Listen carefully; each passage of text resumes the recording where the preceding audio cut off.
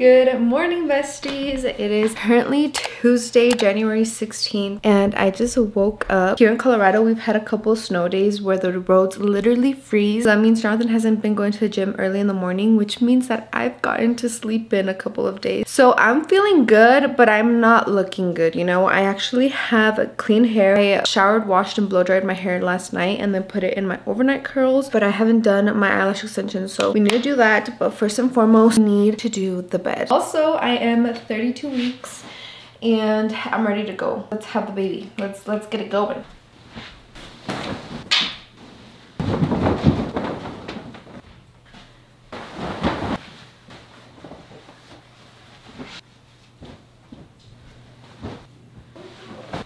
Let's get these eyes situated. I'm gonna do some DIY lash extensions. I think this time I'm gonna go a little shorter than usual and see how I like that. I'm gonna catch up on my subscription box while I do this because it's my me time.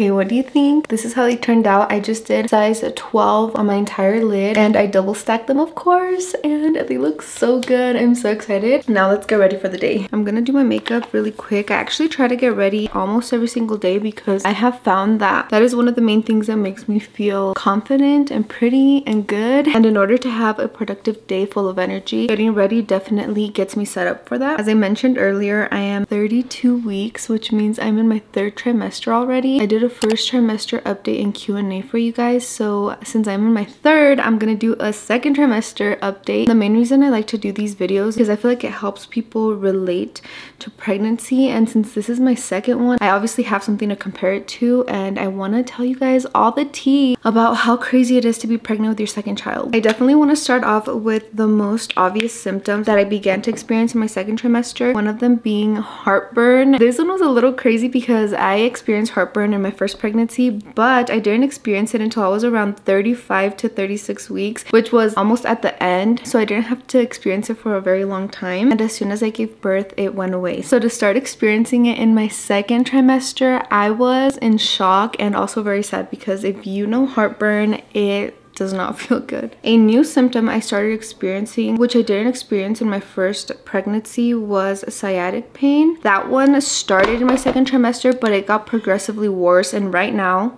that I'm in my third one, it's probably the worst it's ever been. And hopefully the worst it's gonna be because it's pretty bad. It's pretty painful. I can't really walk. I literally walk like if I am 12 months pregnant or something. And not only is it obviously inconvenient, but it's very uncomfortable. I definitely don't want to sit here and say that it's all been a really bad experience because I've actually experienced some good things and one of them being is my skin. My skin has always been textured obviously but my skin has always been acne prone. and I've always had cystic acne somewhere in my face. Rare would be the moments where I didn't have any breakouts, any buried pimples and in my second trimester my skin literally cleared and I'm loving it. I'm taking advantage just in case it doesn't last long but that has been one of the pros. I have been nauseous since the beginning, but I still get nauseous to this day. And I get the ick for food. I get food aversions. I have a really, really strong sense of smell. I can probably smell you through the screen right now. And it's just so uncomfortable because I am such a big smell person. So if I walk into a restaurant and I love the restaurant, but it smells a little different, a little iffy, a little off, I will not eat. If I'm about to eat, but I smell something that I don't like, I will not eat. I will get nauseous. I will want to throw up. Being nauseous is already uncomfortable, but knowing that you're gonna throw up and that the only way you can feel better is by throwing up, sucks. I've been sitting on the floor for seven minutes and my feet are asleep, so that's great. I knew I'd be exhausted. I didn't know I'd be this exhausted. And obviously it's different because I have a toddler running around. My second trimester, I started taking Franco's two hour naps because I just cannot function without a nap anymore. So that's been a great solution. I do not mind taking naps. I do wish that I could get more work done throughout the day while he's napping, but I'd rather have energy to play with him when he wakes up than be a zombie.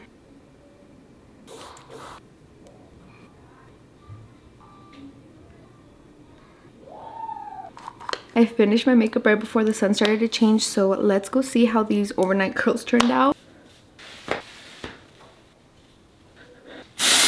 Something else I began experiencing in my second trimester is pregnancy insomnia. I cannot sleep at night for the life of me. So that is why I've been really taking advantage of these days where I can sleep in. I did mention in my first trimester video that I could not stand anything on my belly at all. No tight clothes and I still can't. I usually just sleep with pajama pants because not only can I not stand anything on my belly, I get really, really hot. And these pajamas get washed literally every two days. These are my Skims PJs. They are so comfortable. They go over my belly easily and look at how much they stretch. They're loose, they're comfortable, they are everything I'm looking for and more. This Skims shirt has been my best friend because it is so soft. It does not feel like I'm wearing anything at all. If you guys can see, it's very stretchy. But something I focus on the most is probably my undergarments because again, I have to wear underwear and I have to wear a bra, but I need them to be comfortable. So you guys know that I have been talking about the Skims Fits Everybody collection for a very long time now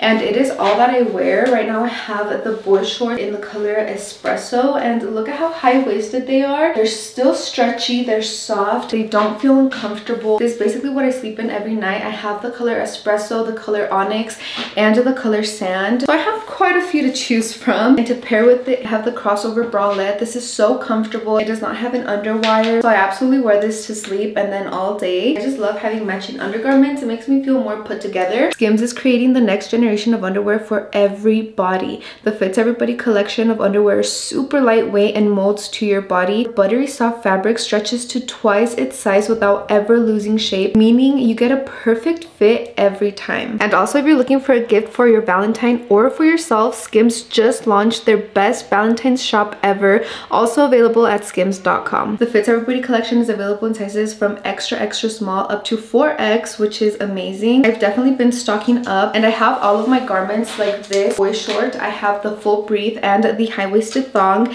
in the size large because I knew that those were going to fit me throughout my entire pregnancy.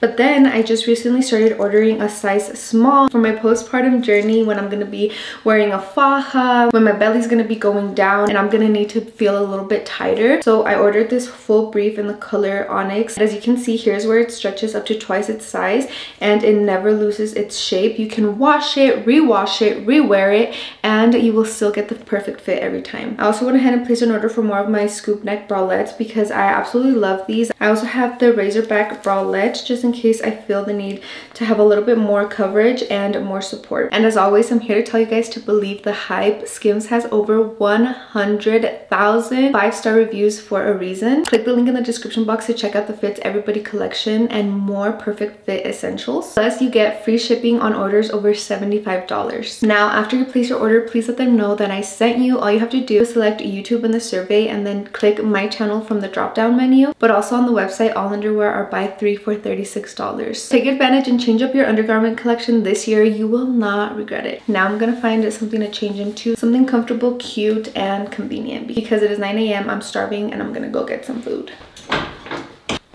I just put on an oversized half zip pullover. Another symptom that developed in my second trimester is strong odor. And unfortunately, I have to wear clinical deodorant. I go in with the tiniest bit. I obviously don't overdo it.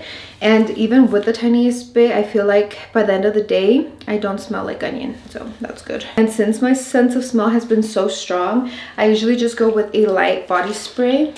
It's gonna make me feel like I smell good without smelling too strong. And that's basically what takes my energy for the whole day because now I'm tired and hungry. I think I'm gonna have to keep them on a side part like this which I cannot even remember the last time I had a side part. I also did ask you guys to ask me some questions on Instagram just to recap how my second trimester has been going and you guys did so let me answer some questions. My hair is really starting to get on my nerves. I'm so sorry. What are the differences from both pregnancies? Although I already listed quite a few of them, I do feel like this pregnancy is just completely different. It's just that this time around I actually feel pregnant and when I was pregnant with Franco I didn't feel pregnant Any tips for nausea? I used to think that I had my nausea under control, but it just comes in waves. And right now I'm currently nauseous and I don't even know if I'm gonna be able to have breakfast. And I did recently notice that caffeine was my trigger for my heartburn, but sometimes caffeine also soothes my nausea. So I have to choose my battles. I drink caffeine and then I pop a Tums and call it a day. have you gained weight? This is a huge difference from my pregnancy with Franco and my pregnancy now. With Franco, the day that I gave birth, I was 170 pounds, which was only 10 pounds over my pre-pregnancy weight. I did get pregnant after COVID, so I did gain a little bit of weight during COVID. I think I gained about 15 pounds. So I was 160 prior to getting pregnant, and the day I gave birth, I was 170. So I only gained 10 pounds with him. And now this time around, I was 145 pounds before I got pregnant, and right now I'm currently sitting at 160 pounds. So I've already gained 15 pounds and I still have seven weeks to go. So that has been another huge difference. Alongside that, she is actually currently measuring a week ahead. So she is a little bit bigger than Franco. She is giving bigger vibes and I wouldn't be surprised. Jonathan was born at 10 pounds. So there's a huge possibility that she will be born bigger too. Are you scared of this birth already knowing the pain and do you plan on using an epidural? So I didn't have an epidural with Franco. My labor was super fast, super smooth. However, I do know that every pregnancy is different. So every labor and delivery is different as as well. I am going in it with the same thoughts, no epidural, and gonna try to labor at home as much as I possibly can, but it's not my set in stone plan. I don't have a birth plan. All I'm gonna do is go in there when I'm ready to give birth and we'll just take it from there. I'm currently not nervous because it doesn't feel very close, but probably when I get closer, I'm gonna be a little bit scared. How did you prepare for birth? I would love to go natural, but I get so scared that it'll be too much pain. Any tips? The main thing that helped me out the main thing that helped me is keep moving. When you get to the hospital when you get admitted keep walking keep bouncing on a ball keep doing exercises. Another thing that was huge for me is sitting on the toilet because what i like to say is that although contractions are very painful what you also feel is a lot of pressure. It just feels like you have to take the biggest poop of your life. My nurse told me oh do you want to just sit on the toilet just in case you feel like pushing? Maybe it's gonna make you feel a little bit better.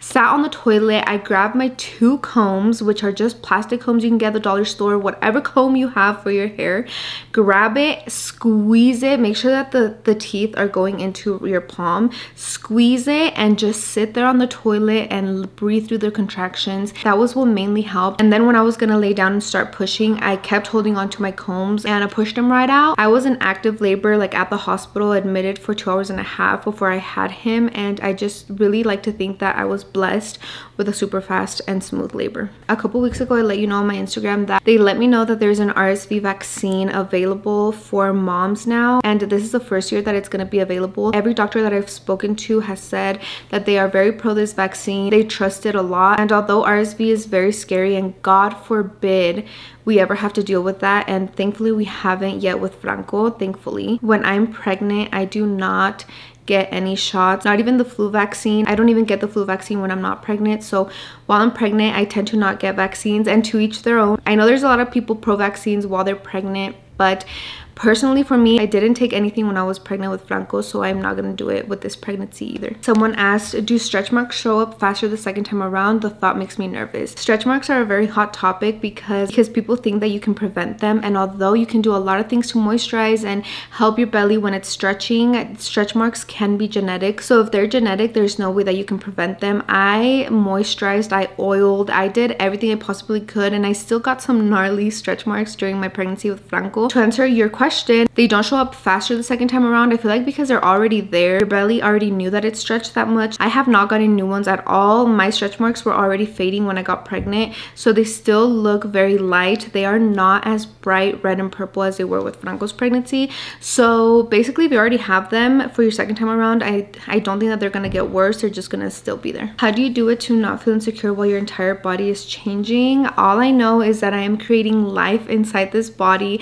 It doesn't matter how much weight I gain, how big I get, how many stretch marks I get. I am creating a heartbeat, bones, hair, teeth. Like nobody can tell me nothing. It is a little bit harder to dress it up because you have a whole ass belly, but I've never been as confident as I am when I'm pregnant. They say second trimester is a breeze. Do you feel the same with it being your second baby? Absolutely not. The second trimester was not a breeze. It is a trimester where I was introduced to symptoms that were only gonna keep getting worse throughout my third trimester. So it absolutely was not a breeze. How was your sex drive in the second trimester? I feel like during my second trimester, since I was introduced to a lot of symptoms that I didn't experience the first time around, my sex drive wasn't very high.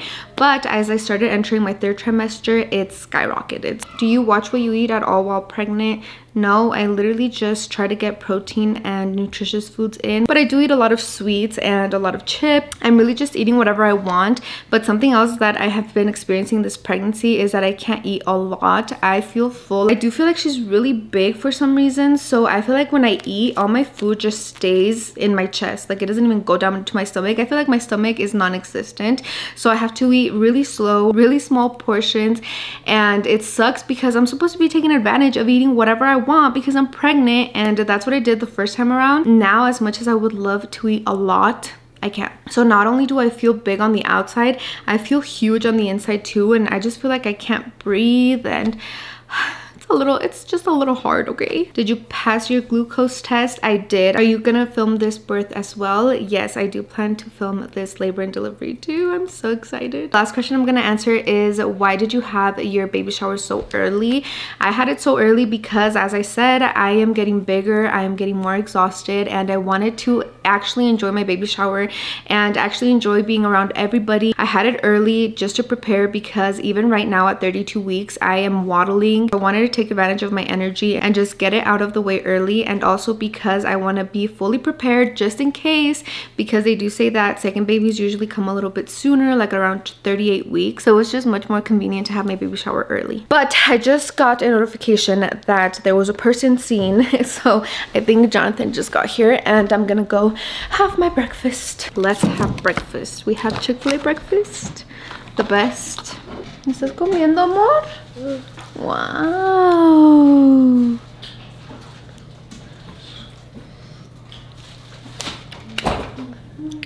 ¡Estás bien fuerte! No, pues yo no te puedo decir de que no se va a morir. Bruh.